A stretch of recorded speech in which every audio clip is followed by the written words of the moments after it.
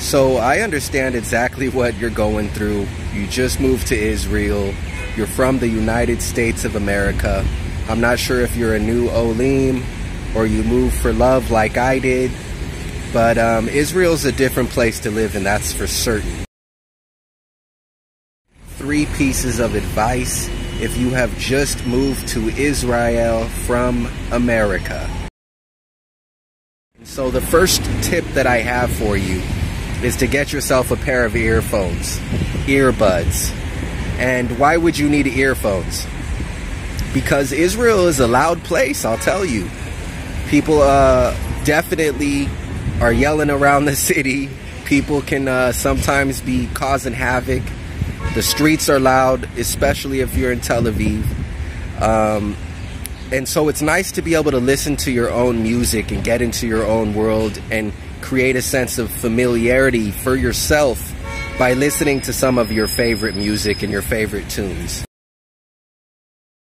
Tip number two if you have just moved to Israel from America, get your guard up.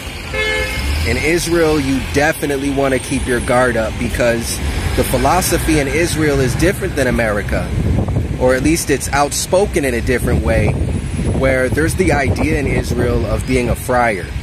And it's a saying, don't be a friar, meaning don't be a sucker. Because if you are acting like a sucker, and if you are a sucker, if you're gullible, if you can be duped, then everybody here is going to try to dupe you. And it's going to be your fault. They're going to tell you you're a friar. And they got over on you because you were acting like a friar. So stay sharp. Don't be gullible. Make sure that you uh, are not necessarily suspicious. Don't be suspicious, but uh, be thoughtful in taking upon actions that are uh, offers of other people here. Meaning, if somebody offers you something, you can be a bit skeptical.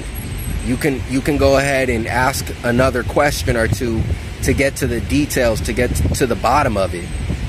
Make sure that you're double checking everything. Make sure that you're um, keeping your eyes and your ears open and, and stay sharp. Don't be a friar. Don't be a sucker. Tip number three from a person who has lived in Israel for 10 years. Take the stick out of your tush. Meaning, in Israel, things are not formal. Things are very familial, meaning everybody treats each other like brothers and sisters here both in the good ways and in the bad ways. The levels of professionalism here are certainly borderline non existent. So you just have to be straightforward and you can be blunt here. You can be open and you can be honest and you can tell the truth. Be yourself and take the stick out of your tush. My name's Claude Massey.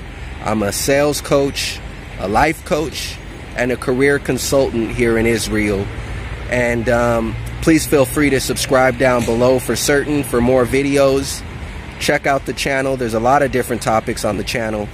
And if you're looking for a job in Israel,